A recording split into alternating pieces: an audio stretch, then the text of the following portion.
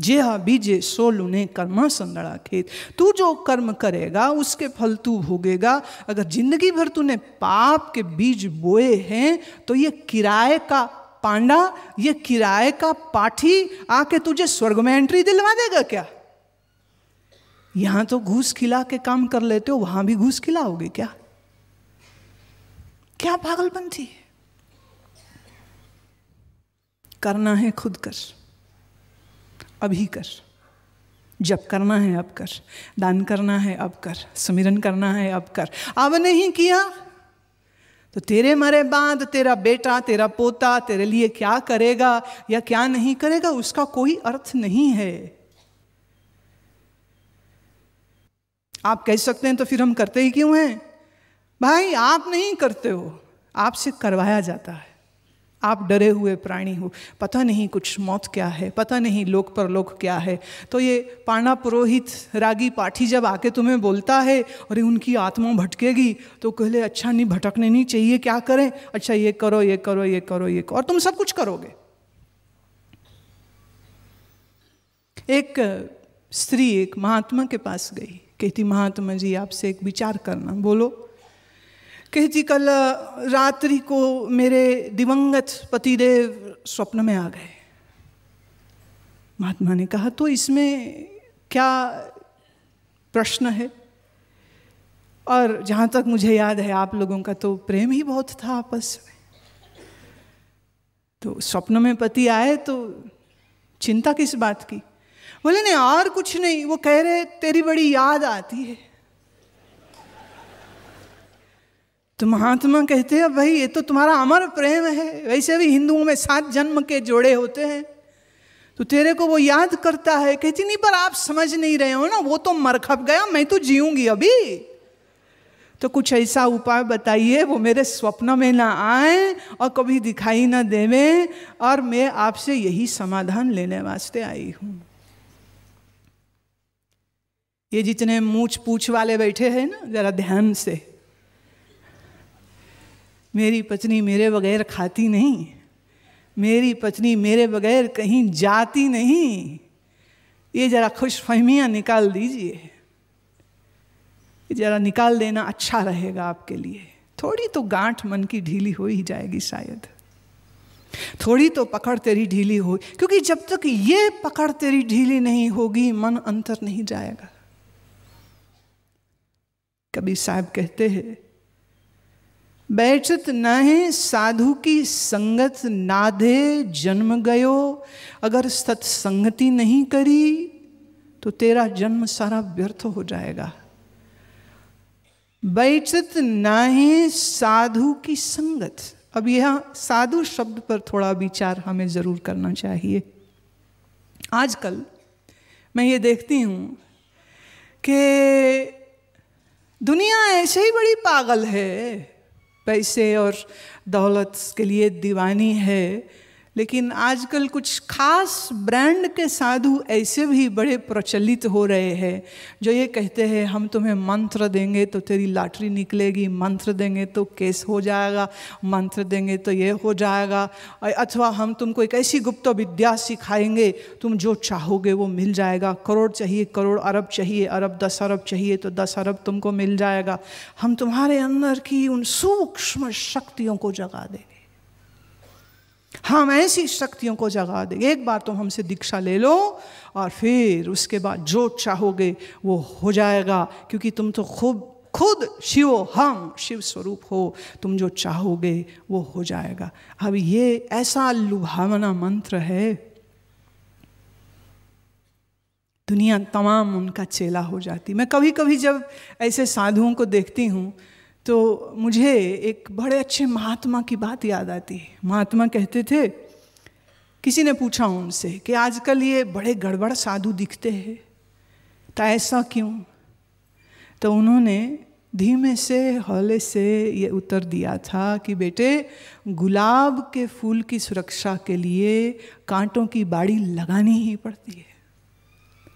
तो परमात्मा ने साधु की सुरक्षा के लिए ऐसे झूठे साधुओं की कांटों की बाड़ी लगा रखी है, ताकि दुनिया उन्हीं में पच मचती रहे। क्योंकि दुनिया को साहेब थोड़े चाहिए। ये तेली के बैल है, बैलों को सिर्फ़ घास ही चाहिए। जिसे सिर्फ़ संसार की ही दरकार है, जो किसी चमत्कार की आशा में है कि चमत्कार हो जाए और मैं धनवान हो जाऊँ और मैं मुकदमे जीत जाऊँ और मेरी प्रॉपर्टी बन जाए। एक बात तय है, साधु का काम जगत से छुड़ाना होता है, जगत में फंसाना नहीं होता। है फंसने का काम विषयी का है, फंसाने का काम विषयी का है। फंसाने का काम विषय का है, साधु का नहीं है। और हम अपनी पहले कबीर जी के साखी में ये बात कही चुके हैं कि साधु कौन है जो अवधु है?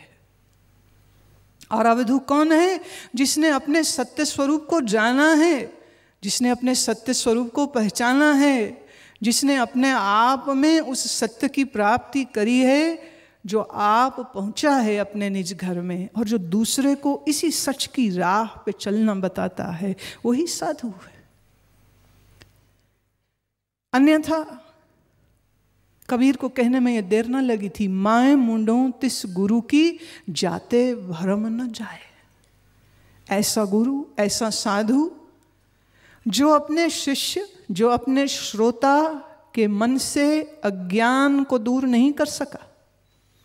जिसने उसके मन से संसार की आसक्ति और ममत्व को हटाया नहीं है, ऐसे साधु अथवा ऐसे गुरु को पैदा करने वाली माँ का मैं सिर मूंड दूँ?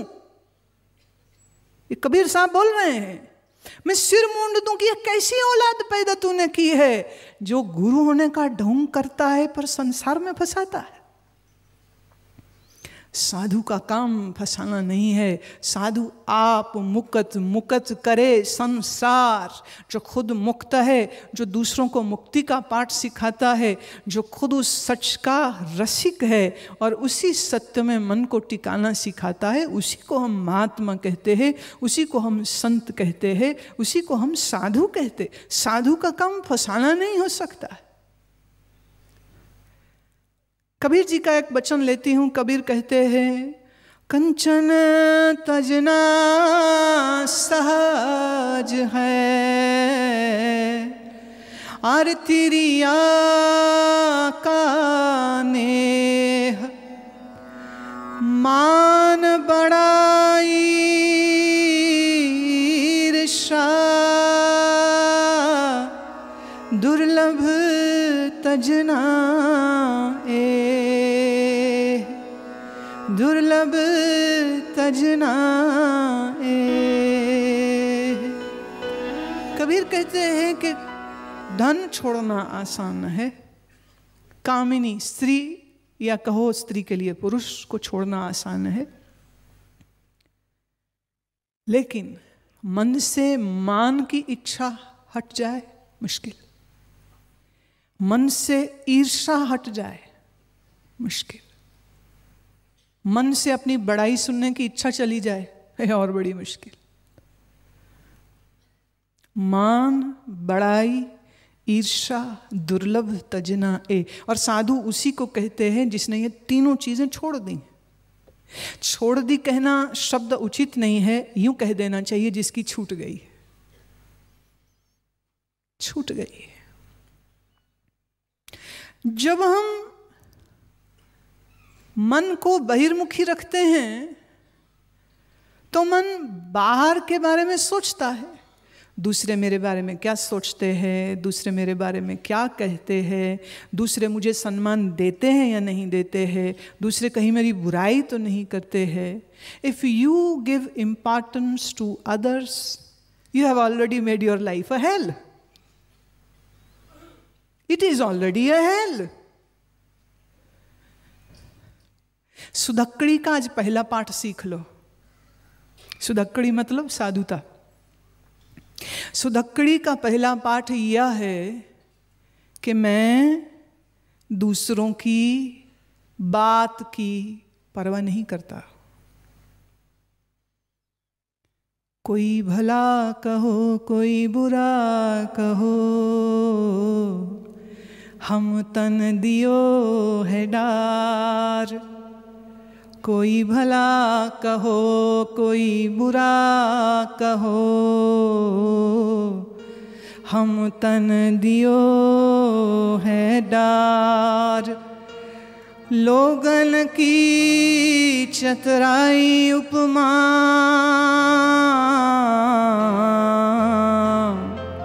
तैबे संतर डार।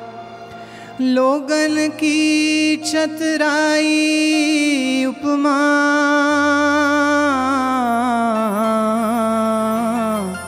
तैबे संतर डार।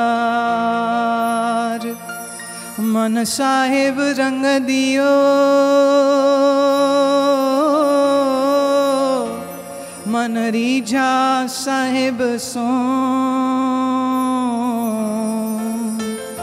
क्या भला, क्या बुरा, मैं क्या जानो?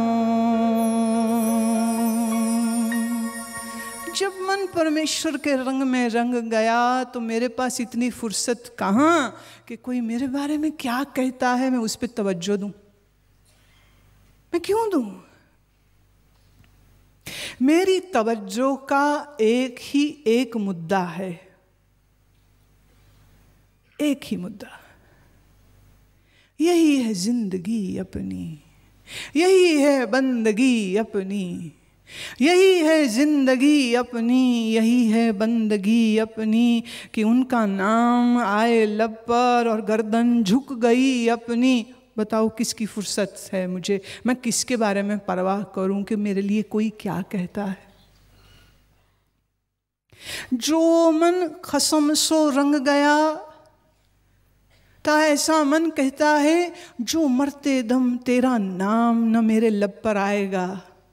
जो मरते दम श्वास निकल रहे हों और तेरा नाम मेरी ज़ुबान पे ना आए, शायर कहता है, जो मरते दम तेरा नाम न मेरे लब पर आएगा, मैं मरने से बाज आया, मरना मेरे किस काम आएगा? मेरी मौत भी खूबसूरत तब ही है जब तू मेरे दिल में, मेरे मन में, मेरे होठों पे, मेरी यादों में, मेरी सांसों में तू बसा हो, फिर तो मरना भी मंजूर है, अन्यथा मरना भी मेरा बेकार हो जाएगा। ऐसा मन जो साहेब के इस रंग में रंग गया। अब देखिए, इस रंग में रंगने की सबसे पहली शर्त यही है कि आपका मन संसार की नश्वरता का निश्चय करे। अगर यह निश्चय नहीं है तो फिर आपके लिए अंतर जाना उतना ही मुश्किल होगा जितना एक सुई की नोक से कोई ऊँट को गुजारना चाहे। Is it possible to make a camel walk through the hole of a needle it is not possible it is not feasible it is not imaginable the day a camel can walk through the hole of needle would be the day when this impossible will become possible for you As long as this samsara is real for you, God is unreal for you. Very simple मैं बहुत साफ़ और स्पष्ट आपके सामने रख रही हूँ ये बात। अगर तुम्हारे लिए संसार नश्वर नहीं है तो परमात्मा तुम्हारे लिए अविनाशी कैसे हो सकता? है अगर आपके लिए संसार ही सत्य है तो आपके लिए निश्चय परमात्मा ही असत्य है। आपने मन लगाया है जगत में, मन उसी का ध्यान करेगा। एक बार एक माता जी ने मेरे से पूछा, कहते हैं कि मुझे कोई जुगत सिखाइए, कोई तरीका बताइए, मन भगवान में जुड़े। मैंने उनसे कहा, मैंने कहा, माँ, एक बात मेरे को बताओ घर में परिवार सब लोग होंगे? बोले, है। मैं अच्छा चल, अभी एक एक काम कर, तू आँख बंद कर। उसने आँख बंद करी, उसे लगा हमको जादू वादू करेंगे शायद। लोगों को ऐसे ही भ्रम होते जादू वादू करने वाले ही तो साधु लगते, दूसरे मेरे जैसे थोड़े लगते हैं साधु। मैंने कहा, आँख बंद कर। उसने आँख बंद करी। मैंने कहा, अपने पोते की शक्ल आँख के आगे ला। आई हाँ जी। मैं अब अपने पतिदेव की शक्ल आँखों के आगे ला। आई हाँ जी। मैं अपनी शादी का जोड़ा तूने पहना हुआ, अपनी फ़ोटो आँख के आगे ला। आई, साठ साल की बुढ़िया को यह भी शक्ल आ गई। मैंने कहा, माँ, अब आँख खोल। जिसने आँख खोली, मैंने कहा, ये मुझे, आज तू ज्ञान थोड़ा दे ही दे। कृपा कर थोड़ी मेरे ऊपर। ये किस टेक्नोलॉजी से तुझे सब कुछ दिख गया था? तेरा पोता यहाँ नहीं, तुझे वो दिख गया। तेरा पति यहाँ नहीं तुझे वो दिख गया। तेरी खुद की दुल्हन की फ़ोटो भी तेरी आँख के सामने आ गई। तू तु, तूने एक बार नहीं मुझको कहा कि कैसे लाऊं? कैसे लाऊं? तो हंस के कहती लो आप कैसी बच्चों ऐसी बात कर रहे हो? अरे जिनके साथ हम दिन रात जीते हैं उनको आँख के सामने लाने में क्या मुश्किल? मैंने कहा माँ बस यही तो मुश्किल है कि जिसको आँख के सामने लाना चाहिए उसको लाते नहीं जिसको लाते हो उसको नहीं लाना चाहिए। और जो आँख के सामने दिखता है, उसको हटाने की ज़रूरत नहीं है। रहने दो उनको वहीं पर। लेकिन ये जान ले कि ये जो दिख रहा है, सो बदलने वाला है, सो नश्वर है, सो विनाशी है। और कुछ नहीं करना। और कुछ भी नहीं करना। बस इतनी भर याद रह जाए। अगर इतनी भर याद रह जाए तो मन को फिर अपने अंतर जाने में देर न लगेगी। एक चीज़ याद रख लेना प्यारे, कि जब मैं कहती हूँ सत्य, जब मैं कहती हूँ ब्रह्म, और जब कबीर कहते हैं ब्रह्म, और जब कबीर कहते हैं सत्य तो इसके दो अर्थ नहीं उसका एक ही अर्थ है। और वही तुम्हारा अपना आप। तुमसे अलग, तुमसे दूर, तुमसे भिन्न कोई और परमात्मा नहीं है। लेकिन जिस देह को तुम मैं मानते हो, मैं उस देह को परमात्मा नहीं कह रही हूँ। ये देह पंच तत्वों की है। और ये पंच तत्वों की देह पंच तत्वों में लीन हो जाती है। लेकिन इस देह के भीतर कोई है? इस देह के भीतर कोई है जो तत्वों से नहीं बना है और जिसका अपना स्वरूप ही सत्य है। देह मिट्टी की है, मिट्टी में मिलेगी। देह असत्य है, विनाशी है, बदलने वाली है। जरा बुढ़ापा, रोग इसको लग जाता है। प्यारे, ये भी एक हकीकत है जिसको जितनी जल्दी समझ जाओ, उतना ही अच्छा हम ये बातें न सुनना चाहते हैं, ना हम ये बातें विचार करना चाहते हैं, क्योंकि इससे बड़ा दिल दहलता है। तकलीफ़ होती है। पर क्या करूँ? सच तो तकलीफ़ देगा ही। इसलिए तो उसको सच कहते जो चुभे नहीं, वो सत्य नहीं होता। जो दिल पर बाम का काम करे, वो कोई झूठ होता है। और सच यही है। आज जो ये तगड़ा शरीर दिखता है, सुंदर मांसल देह दिखती है, जल्दी ही बूढ़ी होगी। जल्दी ही बूढ़ी होगी। दांत टूट जाएँगे, नकली लगवा लेगा। बाल गिर जाएँगे, नकली विग लगवा लेगा। पर शरीर की जो शक्ति चली जाएगी, उसका क्या करोगे? वो कहाँ से भरवाओगे? कहाँ से लाओगे? आँख खुली रहेगी, पर आँख में नज़र ना होगी। कान खुले रहेंगे, पर सुनने की शक्ति ना होगी। जीव मुँह में ही होगी, बोलने की ताकत ना होगी। पाँव साथी होंगे, पर पाँव में चलने की हिम्मत ना होगी। हाथ साथी होंगे, पर उठा के गिलास भर पानी भी ना पी सकोगे। वो दिन दूर नहीं। वह दिन दूर नहीं है।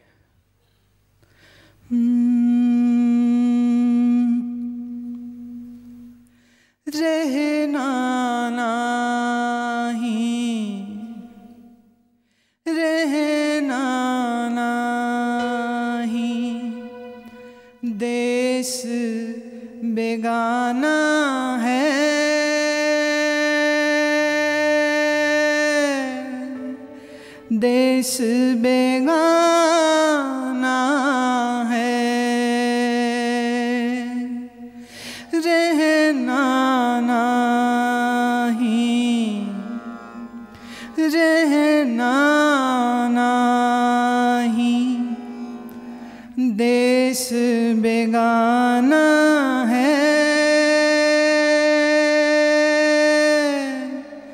देश बेगाना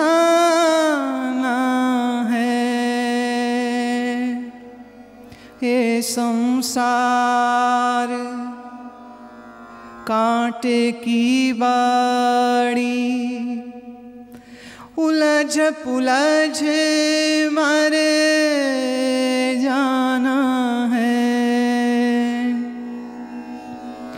ये संसार भोर का तारा सूर चढ़े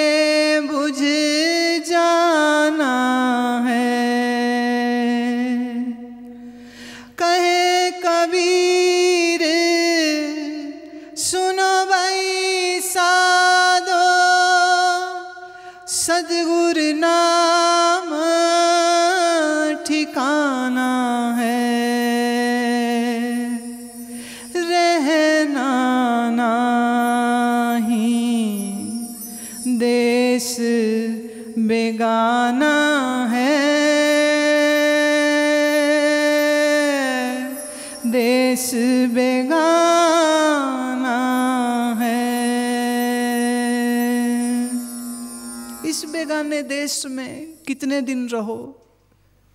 इस बेगाने देश में किससे प्यार करो? इस बेगाने देश में किससे मन की गांठ बांधे? इस बेगाने देश में जहाँ जहाँ प्यार से पलोस कर, प्यार से पलोस कर जिस जिस्म को तू सुंदर बनाता है उसी जिस्म को कोई और नहीं। तेरा अपना बेटा, तेरा अपना पति लकड़ी की चिखा पर चढ़ा देगा, आग लगा देगा। चूमते, चाटते थे जिसको, उसी को आग लगाते कैसे पत्थर दिल होते हैं ना फिर? कैसे पत्थर दिल?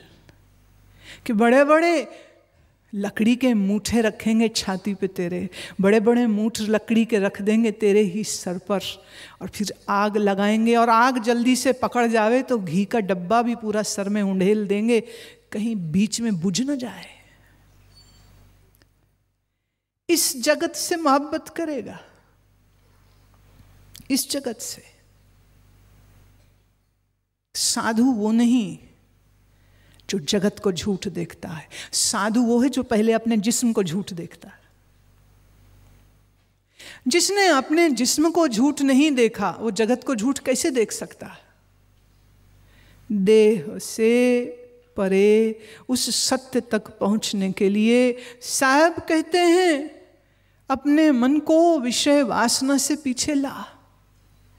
कुछ तो विचार कर, कुछ तो सोच। कुछ तो अपने अंदर की सुध ले। कब तक इन टूटे हुए रागों को गाएगा। किस दिन तू जागेगा? किस दिन तू समझेगा? किस दिन तू अपने अंदर उस लॉ को लगाएगा? किस दिन तू अपने अंदर इस हकीकत को जानने के लिए प्रयासरत होगा? When would that day come because that day is not far when body would turn sick and old that day is not far and before that day comes wake up you need to wake up अब नहीं जागे तो कब जागेगा अब नहीं समझा तो कब समझेगा अब नहीं, अंतर का सुर राग बैठाया तो फिर कब बैठाएगा? क्योंकि अभी देख, श्वास चल रहे हैं, कान सुनते हैं, आँख देखती है, शरीर की शक्ति चलती है, तभी तो चल के यहाँ तक पहुँचे। ये तो बड़ी कृपा है। ये तो बड़ी कृपा है। तो इस कृपा का लाभ उठा लेना चाहिए। छोटी सी बात कहती हूँ, फकीर तो फकीरी होते हैं, साधुओं की तो ज़ात एक सी ही होती है, उसमें तो कोई भेद नहीं है। नन्हे से फरीद बच्चे हैं। माँ चूल्हा जलाने लगी तो फरीद जी बड़ी सी लकड़ी घसीट के अपने वज़न से भी ज़्यादा बड़ी घसीट करके लाए। वो कहते, ले माँ, चूल्हे में एको बार लगा दे कि कब तक धुआँ खाएगी? माँ ने हंस के कहा, बेटे इतनी बड़ी लकड़ी में आग जल्दी नहीं पकड़ेगी। छोटी छोटी लकड़ियाँ लाएगा तो छोटी छोटी लकड़ियों में आग जल्दी पकड़ जाती है। माँ ने तो बात सरल सी कही। चूल्हा जलाया कैसे जाता है? बस इतनी भर बात कही, लेकिन फरीद के मन में यह बात बैठ गई कि अभी मैं छोटा हूँ, मन मेरा छोटा है, इसी छुटपन छुटपन में परमेश्वर से प्रेम हो गया तो हो गया। एक दफ़े मन मूठ सा बड़ा हो गया तो फिर आग लगनी मुश्किल है। फिर मन में आग नहीं लगती। फिर तो धुआँ ही निकलता है। फिर आग कहाँ निकलती है? और फरीद बैठते हैं और अपने अंदर बैठे उस साहेब को ढूंढते हैं और फरियाद करते हैं, दुआ करते हैं, प्रार्थना करते हैं, मैं भी छोटा हूँ, मेरा मन भी छोटा है, मेरे इस मन में प्रेम की अग्नि को जगा प्रभु, क्योंकि सुना है मैंने तो प्रेम के ही काबू आता है। सुना है कि तेरा नज़ारा इस प्रेम की शराब को पी कर के ही होता है। मुझे भी इस प्रेम के मैं खाने से चंद बूंदे दे दो मालिक। ये दुआ करते हैं फरीद। और उनकी दुआ कबूल भी हो जाती है। वो इसलिए क्योंकि जिसको तुम दुआ करते हो, वो अंदर ही तो है। और जिसको तुम दुआ कह रहे हो, वो इससे ज़्यादा खूबसूरत और किसी दुआ को मानेगा भी तो कैसे मानेगा? कबीर के वचनों के संग संग मैं चाहूँगी तुम भी अपने मन को रंग लेना। बात कबीर की करेंगे। पर सच बात तो यह है, कबीर के बहाने बात मैं आपकी कर रही हूँ। जब कबीर कहते हैं, खसम बिन तेली को बैल भयो तो वही कबीर फिर दूसरी बात भी सिखा रहे हैं। अवधु, सोजन हमका भावे, भूले को घर लावे। तुम भी तो भूल गए हो। सच तुम्हारे ही अंदर है, तुम भी भूल गए हो। और तुमको तुम्हारे घर की याद करानी है, और तुमको तुम्हारे ही घर तक पहुंचाना है। शायर ने कहा था, पड़ा है आज मुद्दत के बाद गिरबान पे हाथ। पड़ा है आज मुद्दत के बाद गिरबा पे हाथ, और मैं सोचता था कि मंजिल दूर नहीं है। अपने ही गिरबा तक हाथ पहुँचने में मुद्दत लग गई। सदियाँ बीत जाती हैं, लेकिन हाथ में नहीं आता।